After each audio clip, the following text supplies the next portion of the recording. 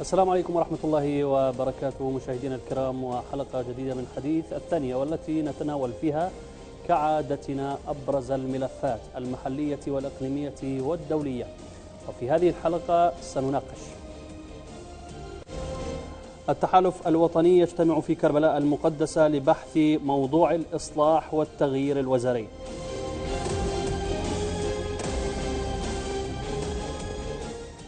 خرق أمني جديد في الحلة بتفجير سيطرة الآثار أودى بحياة العشرات. السيد نصر الله يرجع موقف السعودية من حزب الله لإخفاقها في سوريا واليمن.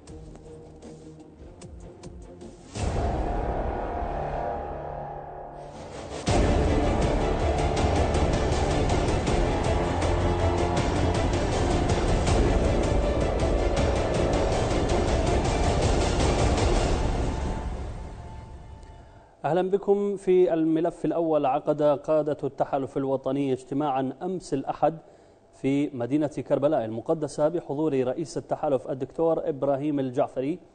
أكد فيه موقفه الداعم للإصلاحات والتغيير الوزاري الذي دعا إليه الدكتور العبادي والمضي بها من أجل تقديم الأفضل للشعب العراقي.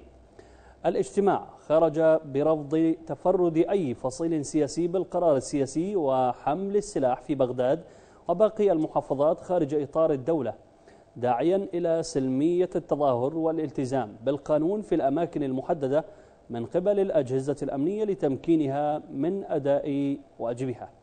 في حين حث بيان التحالف الجميع إلى تحشيد كل الجهود من أجل تحرير الأراضي والمدن المغتصبة وإعادة الاستقرار إليها. التفاصيل نتابعها في سياق هذا التقرير. اجتماع كربلاء المقدسة لم يأتي بجديد. هذا ما استشفه مراقبون من البيان الختامي للاجتماع الذي عقد مكملا للاجتماع المفتوح الذي عقده التحالف الوطني الأسبوع الماضي. فالعبارات هي العبارات بالتأكيد على الإصلاح واستثمار الفرصة لتصحيح المسار السياسي في عموم البلاد من قاعدة الدعم المرجعي والشعبي. التحالف الوطني باعتباره الكتلة الأكبر التي تقع عليها مسؤولية تشكيل الحكومة لأنه الراعي للعملية السياسية منذ تأسيسها. يحاول جاهدا من خلال اجتماعاته الخروج برؤية موحدة ومحددة حول الإصلاح على وفق برنامج واضح مشفوع بإجراءات وأدوات تنفيذية تمكن صانع القرار من الذهاب بعيدا نحو الإصلاح فيما تزداد القناعات يوما بعد آخر بأن الإصلاح ليس فقط حكومة ووزراء على مختلف العناوين كتكنوقراط أو سياسيين وأن التعديل الوزاري أو التغيير ليس إلا مفردة من مفردات الإصلاح الذي لا بد من أن تصاحبه إصلاحات مجتمعية واقتصادية تمكن الفرد العراقي من التمسك بأرضه ووطنه. وهنا على مجلس النواب العراقي تشريع القوانين المهمة التي من شأنها فك قيود الدولة العراقية وإنهاء القوانين البالية لمجلس قيادة الثورة سيء الصيت والتي ما زال الجزء الأكبر منها نافذا. في حين تصاعدت التحذيرات من أن تكون حكومة التكنوقراط فقط لأجل التغيير واستبدال المزاج السياسي للهروب من الضغط الشعبي والمرجعي فحكومة التكنوقراط يراد لها أن تكون حلا لا أن تكون مشكلة.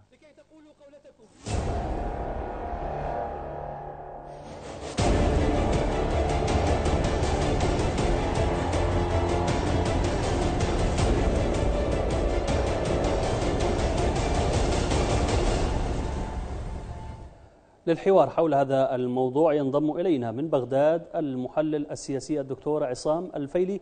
بداية دكتور نرحب بك. يعني هل يمكن القول أن الاجتماعات باتت لأجل الاجتماعات؟ لا أكثر في إن كان على مستوى الرئاسات أو مستوى التحالف الوطني.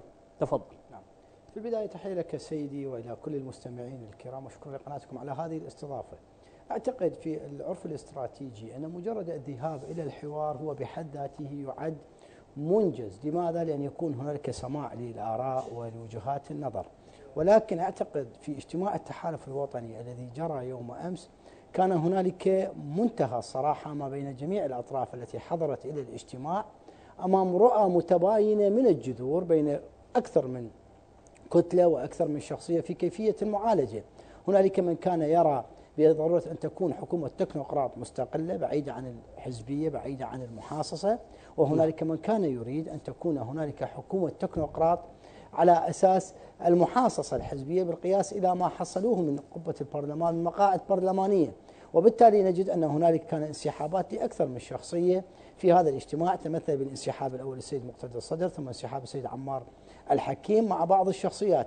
على هذا الأساس نجد أن البيان الذي صدر من الحكومة يعني عبر القناة الرسمية وهي كانت تضمن بعض المفردات مما جعل بعض الأطراف أن تعترض حتى على هذه المفردات التي توجد في بيان سماحة السيد مقتدى الصدر اليوم.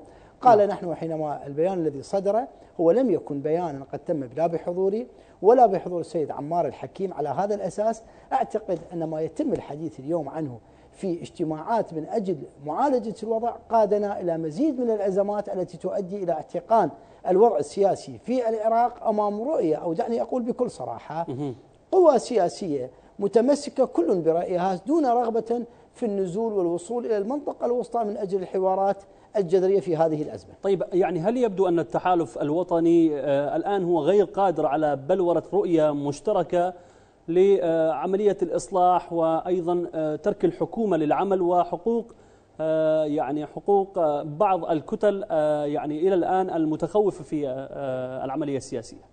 يعني أنا أقول بعد هذا الاجتماع التحالف الوطني يمر بمرحلة حساسة وخطيرة جدا لسبب بسيط جدا. أمام هذا الإصرار من قبل أكثر من كتلة أنه أعتقد إذا استمر هذا الإصرار لن يبقى هنالك شيء اسمه تحالف وطني يمثل كقوة أكبر نعم. لماذا؟ لأن هذا الإصرار أنا أقول أمام تشكيل بعض الكتل كل حضرتك تعلم المشاهدين الكرام أنه قبل أيام تم تشكيل كتلة كان عددها 120 شخصية وكانت هذه الكتلة يعني تسمى يعني حقيقة الكتلة التي أريد منها أن تكون عابرة للطائفية عابرة للقومية وبالتالي هذه الكتلة لم تعد تحتاج إلا محصلة رقمية وهو معدل النصف زائد واحد نعم. أي قد تستطيع أن تشكل حكومة قادمة. وبالتالي في هذا الإطار أنا أقول لكل القوى السياسية عليها أن تقدر حجم المخاطر القادمة في قادم الأيام لأن هذا الإصرار سيقود ليس موضوع افراط التحالف الوطني وعدم بقائه وإنما يدخل البلاد في أتون أزمة حقيقية. لأن اليوم عمق المشكلة أصبح داخل المكون الواحد وداخل التحالف الواحد. وبالتالي هذا يجر إلى مزيد من الاحتقانات مزيد من الصدمات. ولكن اللافت للنظر أن هنالك الكثير من الأطراف تمتلك القوة الشعبية القادرة على إحداث التغيير. وهذا حقيقة نحن نتمنى حتى التغيير حينما يكون. يكون بطرق دستورية طرق دبلوماسية طرق طبيعة تداول سلمي للسلطة دون موضوع التوجهات الوصول إلى حافات الصدام. كما يعتقد بعض الأطراف هذه طيب إشكالية آه الأزمة السياسية يعني في العراق دكتور هل أنت من الداعين إلى مأسسة التحالف الوطني؟ نعم يعني أعتقد أنا كنت دائما أقول وليس هذا حديثي اليوم منذ أن تأسس التحالف الوطني يعني كان يجب أن تكون هنالك نخبة صقور وأنا هنا أقول نخبة صقور نعم. أقول هؤلاء الذين يعني حقيقة لهم تاريخ وطني معين تاريخ في أيام النضال السلبي لهم مكانة لهم تحصيل ثقافي معين انتماءات حزبية. وبالتالي كان المفروض منذ البداية أن يذهبوا بخلق ما يسمى الجيل الثاني. هؤلاء الآباء المؤسسين لموضوع التحالف الوطني كان على الأقل أن يكون هنالك أولا موضوع المأسسة يجب أن تكون هنالك تكنوقراط مستقلين خاصين يلحقون بالتحالف الوطني يرسمون رؤية استراتيجية للتحالف الوطني. نعم. في كل مفصل ليس فقط مفصل سياسي مفصل سياسي اقتصادي اجتماعي على صعيد العلاقات الخارجية وهؤلاء يكون تكنوقراط مستقلين. إضافة إلى أن يكون كان يجب أن يكون هنالك عملية إعداد لخط ثاني طوال 13 عاما حقيقة مع خاص اعتزازي بكل القدرات. التي كانت سواء كانت في المشهد السياسي أو الآن التي يعني حقيقة موجودة حاليا.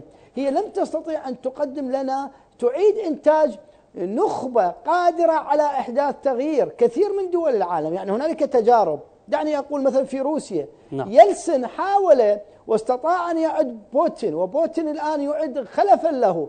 وبالتالي حتى هذه عملية الإعداد قد يكون هنالك تحفظ عليه في النظام الديمقراطي ولكن هم يخرجون من الأزمات إلى أزمات قد تكون أو حلول دعني أقول أشد وطأة اليوم مشكلة الشارع العراقي محتقن.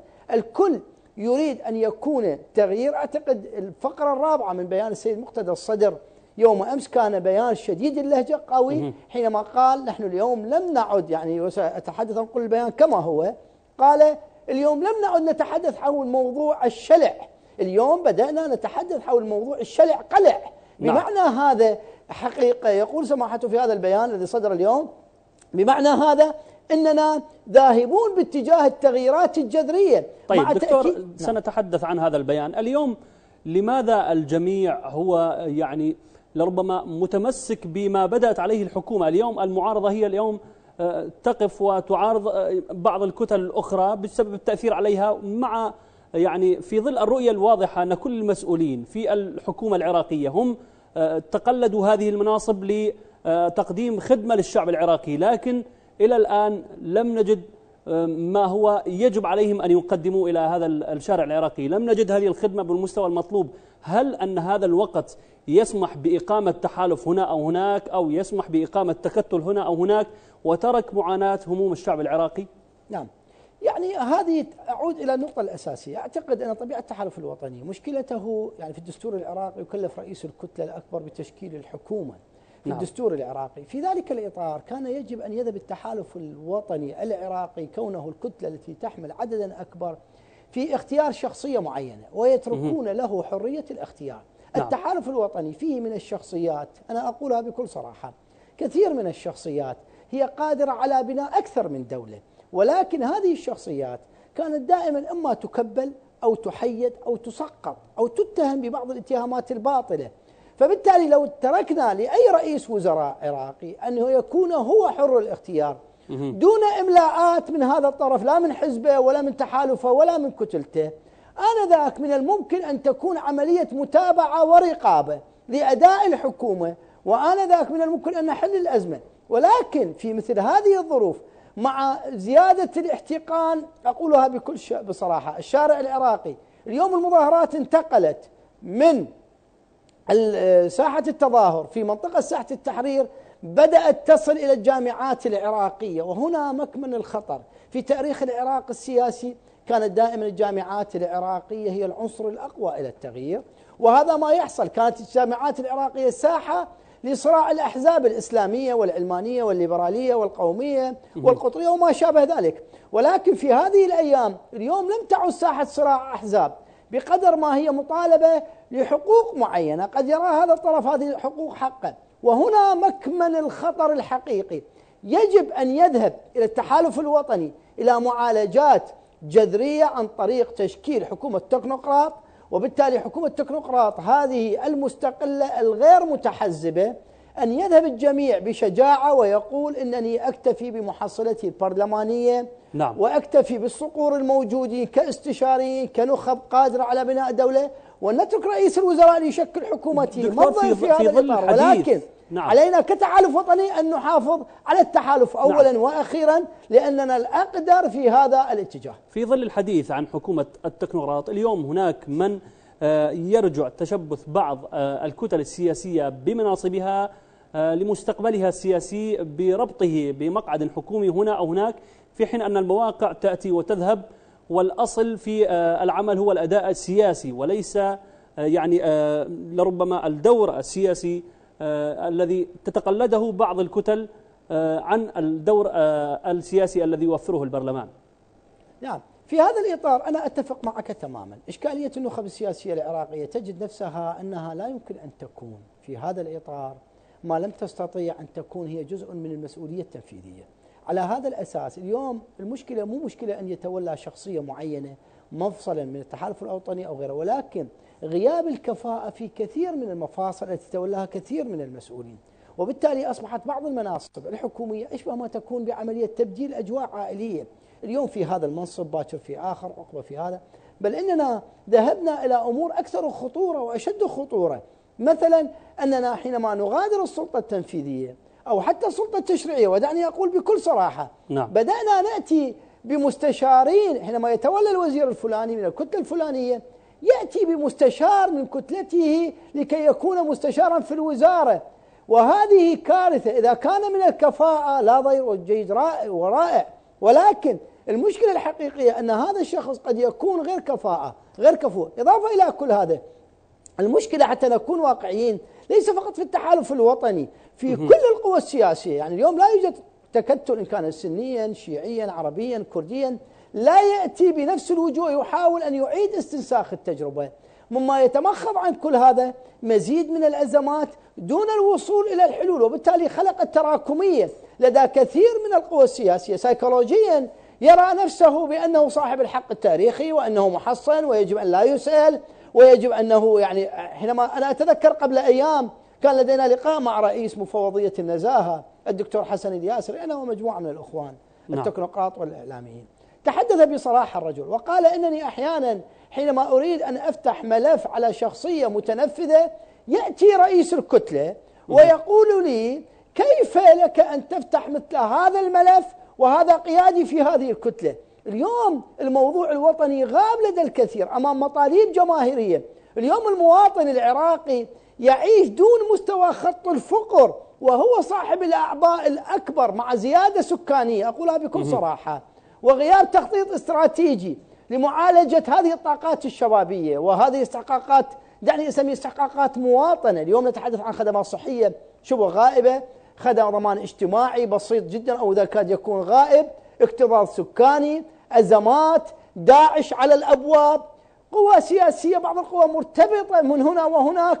كل هذه حقيقة يحتم علينا بالذهاب بضرورة بناء دولة تكنوقراط.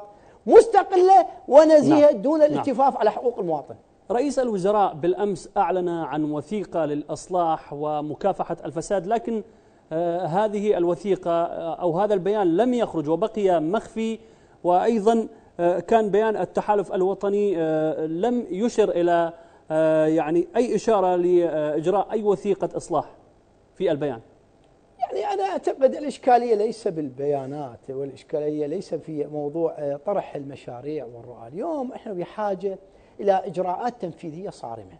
نعم. اليوم السيد العبادي عليه أن يستدعي رئيس مفوضية النزاهة ويقول لي تعال لي بحيتان الفساد وكواسج الفساد. قد يكون قدمت لائحة مفوضية النزاهة مشكورة باتجاه حالة بعض الشخصيات إلى القضاء ولكن السؤال المطروح أمامنا هل هؤلاء هم ولكن نجد أن المدقق الدولي اليوم يفاجئنا بحقيقة الأرقام المذهلة وكأنه نحن حقيقة كالذي يصاب يعتقد أن إصبع له واحد مصاب بالسرطان نعم. ولكن يبدو أن السرطان قد وصل إلى الكبد وحتى عبر إلى الدماغ وكل أعضائه وهو ما زال يصر ودون أن يشعر على أساس أنه ذلك المتعافي لا يجب معالجته وإدخاله وأخذ الجرعات الكيميائية ضمن هذا الإطار أنا أتمنى من السيد رئيس الوزراء حتى يكسر ثقة الشارع العراقي يخرج بلا أنا لا أقول بانقلاب عسكري ولكن أقول ببيان رقم واحد لإعلان الفساد ويقول أرجو أن تساعدوني على تشكيل حكومة تكنوقراط مستقلة وأرجو أن تساعدوني هؤلاء أسماء حيتان الفساد وإنني في فترة أقصاها سأشكل حكومة تكنوقراط مستقلة. ومن؟ لم يقبل فإنني أحتكم إليكم إلى الشارع العراقي ويقول لهم أعلم تماما أنكم انتخبتم القوى السياسية بناء على وطنية مفعمة بالمشاعر العاطفية دون التمحص في برامجهم الحكومية ولذلك نعم. أنا المطلوب مني أن أقدم من اشترط على رئيس الوزراء بالذهاب إلى حكومة تكنوقراط أن يقدم استقالته في حزب الدعوة كي تكون الكابينة كابينة للمستقلين. كيف تقرؤون هذا الطرح؟ يعني أنا أعتقد اليوم حينما يذهب مجرد أن يذهب السيد العبادي إلى تقديم هذه الكتلة أنا أقول هنا هو أمام خيارين. خيار أن يذهب بالطرق الدستورية إلى البرلمان وبالتالي يعقد معهم اجتماع ويقول لهم اعلموا أنني سأذهب إلى هذا الخيار. إذا لم تقبلوا في هذا الإطار فإن الشارع العراقي اليوم يقف. والشارع العراقي أنا أقول بكل صراحة اليوم العقل الجمعي يكاد يكون متع... يتحرك باللاوعي. هذا في مقاييس علم النفس الاجتماعي أنا أتحدث عن علم النفس السياسي. لذلك تقدير المخاطر في هذا الإطار اليوم مو موضوع سيب ونسيب لا هذا الموضوع لا يجب أن يكون. نعم. اليوم حتى وإن كان السيد العبادي من حزب الدعوة حينما يقدم حكومة تكنوقراط بعيدة عن الدعوة بعيدة عن الأحزاب الأخرى أو حتى فليأتي من الدعوة ولكن يأتي بكفوء جدا بصفحة ناصعة أو يأتي من التيار الصدري بكفوء وناصعة جدا غير متهم. يعني ولكن المشكلة الحقيقية وين؟ المشكلة لا تكون هذه الحكومة حكومة غير متخصصة. المشكلة بخاف الشارع العراقي أن يعاد استنساخ التجارب والوجوه في هذا الاتجاه. طيب آه، دكتور لا توجد آه، يعني في حديث الساسة هناك لربما يعني مبررات لعملية إصلاح في القضاء السياسي مع العلم أنه أول ما نادت به المرجعية الدينية هو الإصلاح في القضاء. آه، يعني لربما اليوم القضاء يشكل ركيزة أساسية في عملية الإصلاح. نعم يعني أنا أعتقد اليوم مشكلة القوى السياسية بعد أن استحوذوا على السلطة التشريعية والسلطة التنفيذية بدأوا يتدخلون في كل المفاصل حتى في موضوع القضاء. أنا أقول القضاء في العراق يتعرض إلى ضغوط حقيقة. هذه ضغوط من بعض القوى السياسية يعني حينما يقتل قاضي أو يقتل محقق أو يقتل يعني حينما تعود إلى أرشيف القضاء العراقي لا نجد أنه قضاء يعيش في مناخات سعيدة ولا في مناخات مريحة بل أن عملية التهديد والتلويح بالقتل والضغوط من هنا وهناك. لذلك بعض القوى السياسية التي تمتلك رؤية استراتيجية حتى حينما تجد قاضي يتعرض إلى ضغوط معينة تحاول أن تتصل به. وهذا ما حصل في بعض ملفات الفساد. وتقول نعم. له نحن نبرأ من هذه هذه الشخصية وبالتالي أنت لك كل الحرية وكل القدرة ويعني كما يقول في المثل العامي أنت مبرئ الذمة في التعامل معه كيفما تشاء بناء على مصلحة الوطن. مشكلة القوى السياسية. لا تعتقد أن هذه الضغوط على هذا القاضي أو ذاك إنما يولد مزيد من الأزمات. لا تتوقع مقدار الصورة السلبية للوضع السياسي في العراق حينما خرج راضي الراضي كرئيس مفوضية وسافر وخرج العراق غادرا. كم هي الصورة السلبية انعكست على العراق؟ وبالتالي نعم. دعونا نعالج الأمور بأقل ما يمكن من الخسائر دون الذهاب إلى مزيد من الأزمات دكتور في هذا السؤال باختصار لو سمحت اليوم آه، يعني التحالف أو الكتل السياسية تراقب أداء التحالف الوطني آه، وصمتها صمت غريب يعني قد يصل التحالف إلى رؤية مشتركة وتعترض عليه الكتل أليس من الأولى فتح طاولة حوار على الجميع؟ يعني أنا أعتقد هنالك كتل آه، تريد للتحالف الوطني أن لا يوفق في موضوع اختياره تريد التحالف الوطني أن يفشل في منتجه السياسي لأنها تريد أن تذهب إلى حكومة طوارئ وبالتالي في حكومة الطوارئ أنا أقول يعني أقول هنا على التحالف الوطني أن ينتبه سيكون هنالك الموضوع يتعدى موضوع الحكومة الحالية. ستفتح بعض الملفات ربما تؤدي إلى انهيار سمع سمعة أحزاب كبيرة. نعم. وبالتالي هذه القوة دعونا نفهم. خلونا نذهب إلى حكومة تكنوقراط مستقلة خير لنا من نذهب إلى حكومة طوارئ ربما تجر البلاد نعم. إلى مزيد من الأزمات. دكتور ابقى معي سأعود لك بعد قليل بعد أن ننتقل إلى آه، الملف الثاني من حديث الثاني لهذا اليوم. ابقى معي. أحبتي المشاهدين فاصل قصير ونكمل معكم الحوار الثاني من حديث الثانية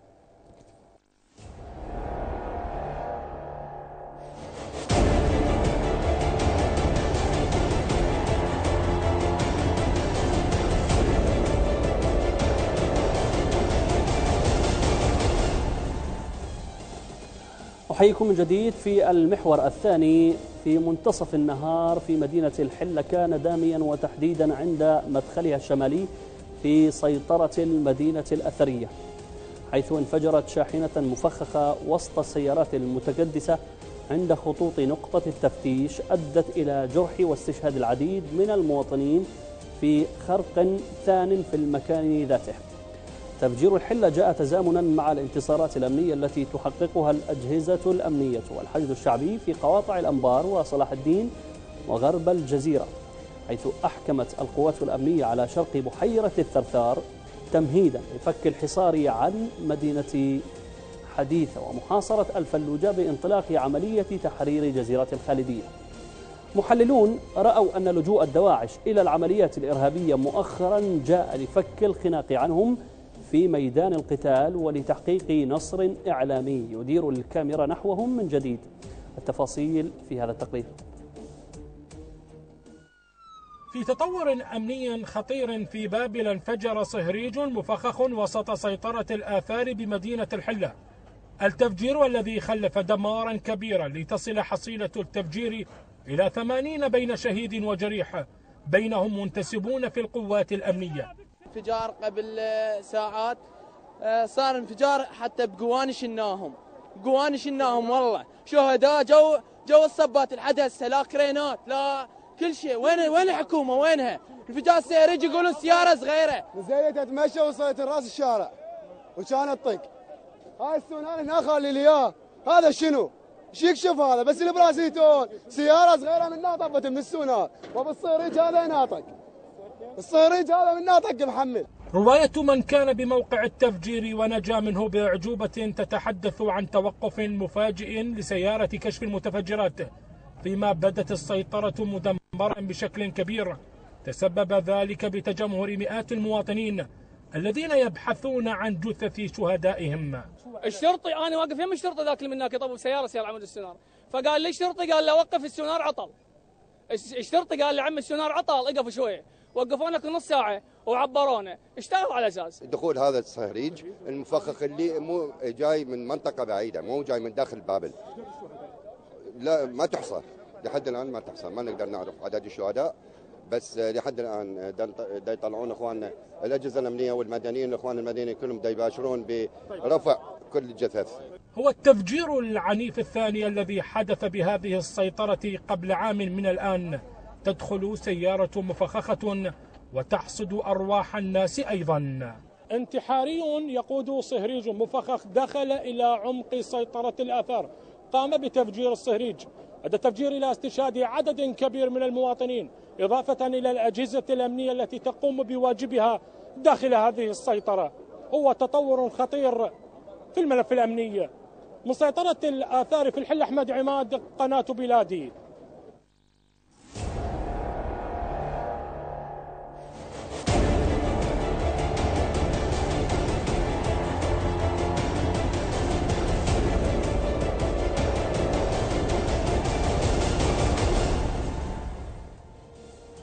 أهلا بكم من جديد. أعود إلى ضيفي من بغداد المحلل السياسي الدكتور عصام الفيلي. دكتور مرحبا بك مرة أخرى في المحور الثاني لحديث الثانية. أهلا ومرحبا أهلا بك سيد دكتور بماذا تفسر العلاقة الطردية فيما بين الجدل السياسي والخروقات الأمنية؟ نعم. يعني أعتقد دائما آه، كلما يكون هنالك شكل من أشكال الاحتقان السياسي بين القوى السياسية يلقي بظلاله على كثير من المناطق العراقية. وقبل ما نذهب إلى سيطرة الحلة دعني أتحدث هنا عن موضوعة القتل والإبادة الجماعية. لأول مرة في حياتي أنا أشاهد موضوع إعدام مجموعة أقولها بكل صراحة على نعم. وهم يجلسون على القنفة أو الأريكة وهذا بحد ذاته كما حصل في منطقة المقدادية. لأن القوى السياسية في العراقية لا تتقي الله وبالتالي تحاول أن تجير أي عنف يعني في مرحلة معينة أو في لحظة معينة إلى مكون دون أن تحاول أن تسمي هذا باسم إرهاب. على هذا الأساس نجد أن الأزمات تتوالى في كثير من مناطق العراق وبالتالي عملية صناعة المتفجرات والمفخخات في العراق لم تجد تعد هنالك حقيقة أقولها بكل صراحة محاذير من صناعتها لأن في كثير من المناطق هنالك مصانع هنالك عملية تعبير لهذه المتفجرات وهذه المكونات بطريقة أو بأخرى. مع هنالك دعني أسميها تناغم بين بين بعض الشخصيات أقولها في عملية هذه هذه الكمية الهائل من المتفجرات. لذلك نجد في أي لحظة يتم هنالك دعني أسميها وجبات جاهزة للقتل متمثلة بسيارات مفخخة متمثلة بزوارق مفخخة متمثلة بشاحنات مفخخة وبالتالي تنتظر إشارة الانطلاق من هنا وهناك. مع جهد استخباري كبير لداعش والتنظيمات الإرهابية حقيقة في نعم. أكثر من جزء وأكثر من نعم دكتور كيف تقرأ تفجير الحلة يوم أمس وهل هناك ربط بالتقدم الأمني الحاصل الآن؟ نعم يعني أنا أعتقد طبيعة النصر العسكري الذي تحقق طوال هذه الفترة في أكثر من مفصل وبالتالي يعني يعني نتحدث كنا نتحدث عن أشهر مضت كان العراق يخلو منها تماما شبه تماما من تفجيرات وبالتالي أن هذه الأشهر التي مضت حقيقة كانت بالأساس آه، أقولها هو مجرد يعني يعني نصر كبير كان يتحقق القوات العراقية وقوات الحج الشعبي الابطال في أكثر من محور وأكثر من مكان. وبالتالي عملية آه، فصل لمغذيات الإرهاب في كثير من المناطق. ولكن اليوم هذا التنظيم الإرهابي اليوم أدرك تماما أن بعد تقدم قطعات الجيش العراقي تحريرهم لمناطق شمال الجزيرة وبقية المناطق في سامراء أن تواجده لم يعد موجودا إلا يحاول أن يلملم قواته في منطقة آه، بالضبط أتحدث هنا عن الموصل. فكان لابد له التحرك من المناطق القريبة من العاصمة العراقية. قبل أيام كان هنالك تفجير في منطقة أبو غريب كان هنالك تفجير إرهابي أيضا في منطقة المقدادية ومنطقة مدينة الصدر. كل هذا محاولة مشاغلة قطاعات الجيش العراقي في وقت أنا أقول ليس فقط قطاعات الجيش العراقي حتى قوات الشرطة الاتحادية. إشكاليتنا في العراق نحن مثلا على سبيل المثال نعتمد الأسلوب العددي. مثلا أن الشرطة العراقية تصريح لوزير الداخلية الأخير يقول عدد أفراد الشرطة العراقية 660 ألف مقاتل.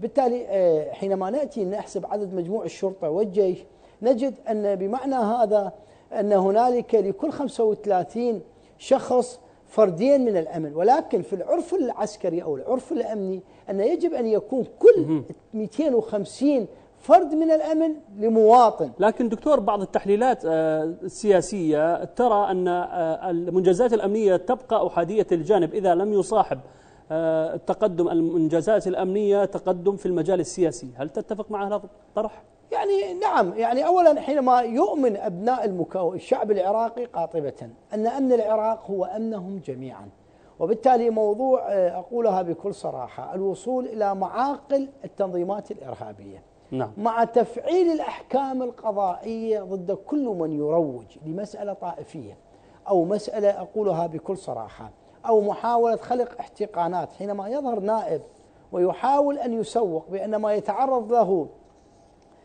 ثلاث أفراد هو استهداف لمكون. ولكن هذا النائب يتحدث وهو لم يرى هذا المكون ولم يصل إلى مناطقهم ولم يحاورهم ربما يكتفي بمسج يصله بثلاث كلمات وبالتالي يلقي بظلاله على الشارع العراقي وتستغله التنظيمات الإرهابية في تجنيد كثير من الشخصيات. اليوم المشكلة الحقيقية نحن لم نعد نواجه فقط تنظيم نواجه أفكار قادرة على التغلغل إلى بعض المفاصل. وعملية محاولة استدراج فئات نعم. ومكونات نعم. عراقية لكي يكون أدوات قتل يعني كلنا لنسلط الضوء على هذا المحور من هذه الحلقة اليوم في آه، في محور هذه الحلقة نتحدث عن تفجيرات الحلة، هل تتحدث تفجيرات الحلة عن وجود حواضن في هذه المناطق؟ باختصار لو سمحت؟ يعني اولا كثير من المناطق المحيطة في الحلة أو مناطق المحيطة في بغداد هي مناطق قروية، أنا أقول عملية ضربات الاستباقية التي يجب أن تكون بمقدار عالي من القوة هي التي تحاول أن لا يصل هنالك يعني دعني أقول التفجيرات قبل حدوثها. اليوم هذه التفجيرات دعني أسميها الكمية النوعية حينما يتوفى أو عفوا يستشهد يوم أمس 60 شهيد عراقي و70 جريح. ونفس السيطرة قبل ما يقارب سنة ونص أو سنتين كانت قدموا ما يقارب 200 نعم ضحية في نعم هذا نعم دكتور عصام. كان معي ضيفي من بغداد الدكتور عصام الفيلي المحلل السياسي. شكرا جزيلا لانضمامك معنا. أحبتي المشاهدين ابقوا معنا وأيضا سنتابع معكم المحور الثالث من حديث الثانية.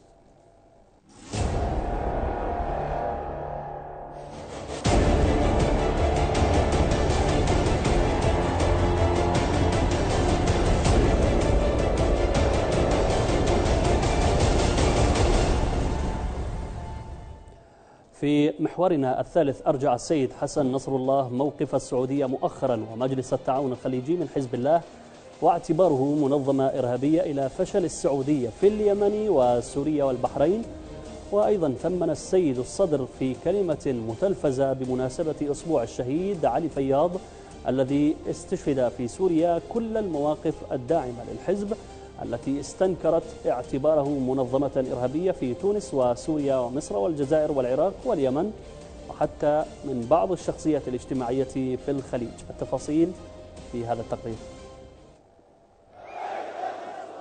عائد من مشواره الطويل في ميادين الجهاد إلى بلدته الجنوبية أنصار التي كانت تنتظره باحتفال تأبيني كبير حضره حشد سياسي وعلمائي وشعبي كبير.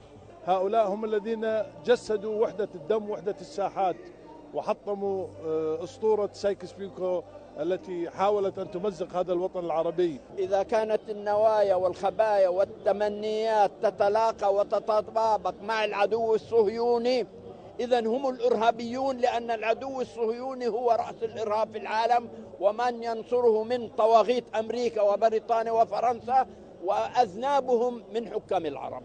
في حضرة الشهيد القائد. كان الموقف الواضح لقائد المقاومة. من يريد أن يرفعكم أيها القتلة فسيسقط معكم. قالها السيد نصر الله. لا آل سعود ولا آل فلان ولا آل فليتان ولا نظام ولا وعاظ سلاطين ولا فقهاء ولا فقهاء بلاط ولا إعلام ينفق عليه ملايين الدولارات ولا أكاذيب الفتنة الطائفية والمذهبية ولا التحريض الطائفي والمذهبي. من يريد أن يرفعكم أيها القتلة أيها المجرمون أيها الصهاينة يا مرتكبي المجازر في دير ياسين وجنين وقانا وبحق المصريين والتونسيين وشعوب المنطقة. من يريد أن يرفعكم من ما كان يسقط معكم. وعن تدخل حزب الله في العراق أشار السيد نصر الله أما نحن في العراق فكنا نقاتل تحت قيادة الحشد الشعبي. قيادة قيادة عراقية شريفة مخلصة وطنية. وتحت قيادة الإخوة العراقيين. وما زلنا. يمكن لو كنا عم نقاتل تحت قيادة أمريكية ما بيوصفونا بالإرهاب. وأنا أقول لهذا الجهبذ لولا الحشد الشعبي في العراق لكانت داعش الآن في قصوركم وبيوتكم تسبي نساءكم وتهتك أعراضكم. رسالة واضحة للسعودية وحلفائها. وضعت النقاط على الحروف.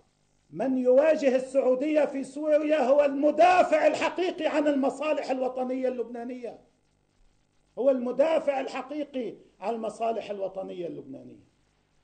ما فيك تجي تبتزنا كلبنانيين وتقول أنا عم بسمح لكم تشتغلوا بالخليج فاعملوا معروف اتركوا سوريا تسقط في أيدي المنظمات الإرهابية التكفيرية التي ستأتي لاحقا لتذبح أطفالكم وتسبي نساءكم وتدمر مساجدكم وكنائسكم. هذا منطق ما حدا بيقبل فيه. تخلل الاحتفال فيلم يحكي مسيرة الشهيد المليئة بالإنجازات والتضحيات ولكل نصر فيها كانت له بصمة. الحاج علي فياض الملقب بعلاء البوسنة فارس كل الميادين. يتوج مسيرته بالشهادة. يرحلون مع خيوط الشمس تاركين خلفهم الكثير ممن لا يخطئون طريق الانتصارات. لتبقى روحهم تحدث الأجيال عن مسيرة رجال سطروا بدمائهم أروع ملاحم البطولة. من منطقة أنصار جنوب لبنان حسين عياد قناة بلاد.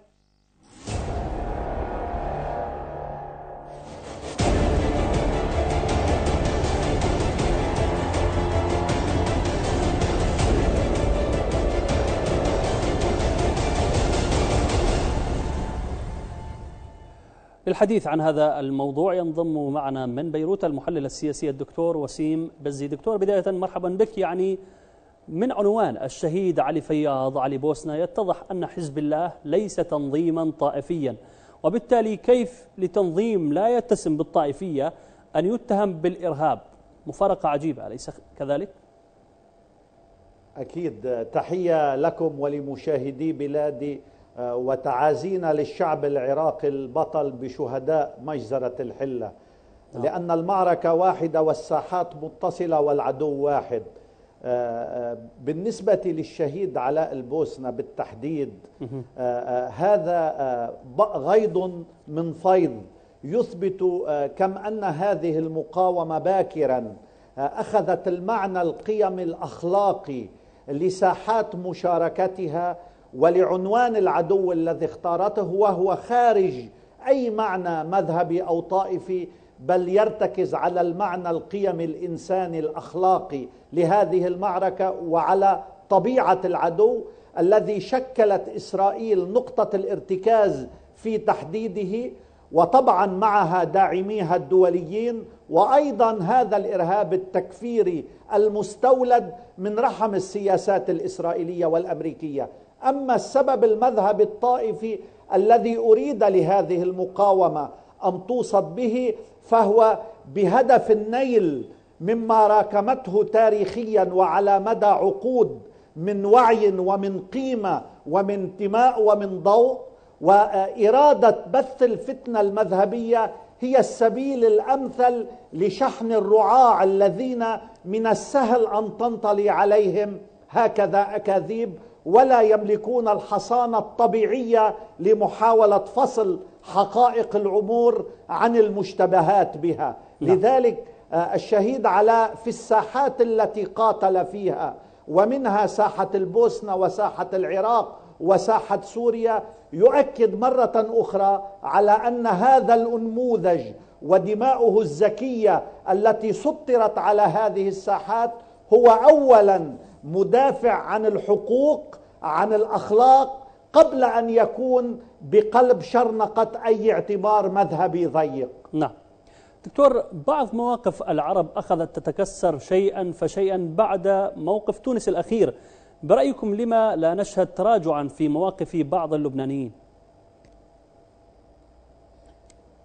بكل أسف يعني آه، ما نشهده الآن من هذه الهجمة الشرسة التي تقودها المملكة العربية السعودية ومرتكزاتها اللبنانية حتى نكون آه، دقيق دقيقين هي عبارة عن كشف المستور لأن هذا التآمر التاريخي بدأ منذ عقود وكان موجودا في حرب تموز نعم. كان موجودا عام 1985 عندما تعرض سماحة السيد محمد حسين فضل الله لمحاولة اغتيال آثمة شاركت فيها المخابرات السعودية ومخابرات دولية وسقط فيها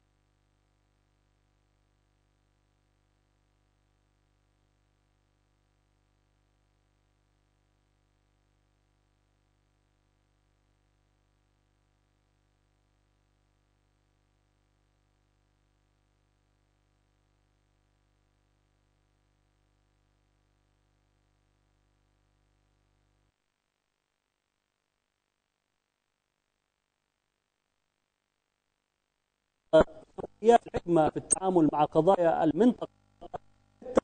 شيء ذاهب نحو التصعيد. بكل أسف آه، يعني هم حدثونا منذ عام بالتحديد عما سمي بعقيدة سلمان وهي عنت آه، أن المملكة العربية السعودية خرجت عن كل المألوف التاريخي من سياستها المحافظة والتي كانت توصف بالحكمة وبالهدوء وبعدم الانفعال ما نشهده في هذا العام وما شهدناه هو ببساطة شديدة آه، رعونة واندفاع غير محسوب وتحطيم آه، لما كانت تملكه السعودية من أوراق هدر مالي تعامل مع الأعداء ضرب للصف العربي آه، تخلي أمريكي عن السعودية سقوط لورقة النفط ورفع علني لورقة الإرهاب التكفير الوهابي في تنافس واضح بين المملكة العربية السعودية وبين أبو بكر البغدادي على من هو القادر فعليا على رفع الراية الوهابية وإلى أين حقيقة يمكن أن تصل هذه الراية في تشويه صورة الإسلام ومسخه وضرب الصورة السمحة التاريخية التي هي في صلب عقيدة الإسلام والمسلمين. نعم دعنا نحصر آه، الحوار في موضوع هذا الملف بالتحديد اليوم. إلى أي مدى تجد التنسيق في التصريحات الأخيرة التي تستهدف حزب الله في لبنان والحشد الشعبي في العراق اليوم؟ واضح تماما آه، ما أن ما قاله سماحة السيد عن دور الحشد الشعبي المؤثر يعيدني بشكل سريع آه، إلى التصريحات التي أطلقها آه، مؤخرا السفير السعودي في بغداد بحق هذا الفصيل المؤثر والوازن والذي كان له دوره الحاسم في عودة وردع خطر الإرهاب عن العراق وعن عاصمته بغداد نعم. وبالمناسبة هذا الحشد يشارك كتفا بكتف مع حزب الله ومع الجيش السوري آه، في آه، ساحات مؤثرة آه، في الميدان السوري. وهذا يثبت أن هذه القيمية المتشاركة ما بين حزب الله والحشد الشعبي والجيش السوري والجيش العراقي أتت أكلها في ردع المؤامرة وتأخذ منحا تصاعديا في سبيل هزيمتها لذلك من الطبيعي آه، أن أن يأتي الربط من سماحاته بالشكل الذي قدمه وأن يكون تعاطي الأعداء بنظرة واحدة إلى ما يمثل يمثله هذين الطرفين نعم. من قيمة لدى جمهور وشعوب المنطقة بأكملها في وجه هذا الإرهاب دكتور تركيز السيد حسن نصر الله على استحالة التطبيع مع إسرائيل هل جاء لتوعية آه، المكون السني في المنطقة من مخطط اعتبار إسرائيل أمرا واقعا؟ هو بكل أسف نحن نتعرض آه، منذ خمسة سنوات منذ خمس سنوات على الأقل نعم. إلى مؤامرة ممنهجة تريد أن تقدم إسرائيل كعضوا مقبولا في الجسد العربي. بالفعل. ونحن نعرف أنه منذ كامب ديفيد وحتى الآن تجربة الشعب المصري وتجربة الشعب الأردني وحتى الشعب التونسي وغيرها من التجارب لفظت منطق التطبيع ورفضته. لذلك نعم هناك كي وعي حقيقي يجري على الشعوب العربية بين مزدوجين. من مذهب معين ومن طائفة معينة ضمن عملية تسلل خطير لجعل إسرائيل مقبولة في ظل تعظيم الخطر الإيراني وقدرة الإعلام الحديث ووسائله المبتدعة نعم. وحجم نعم. المستثمر في هذا الإعلام بكل أسف أحدث خروقات حقيقية فيما تفضلت به بسؤالك لذلك المطلوب دائما ضمن ما نتمتع به من إمكانات وفي نعم. ضمن المنصة المرتفعة التي يتمتع بها سماحة السيد حسن نصر الله أن نسعى دائما نعم إلى تفويت الفرصة على الاستثمار في هذه الجزئية بالذات. أشكر لك آه، صدرك الرحب على هذه الإجابة. كنت معي ضيفي من بيروت المحلل السياسي الدكتور وسيم بزي. شكرا لك. أيضا أحبتي المشاهدين نشكر لكم حسن المتابعة. هذه تحياتي لكم أنا تحسين الموسوي وتحيات موعد هذه الحلقة رافد صدق. شكرا للمتابعة.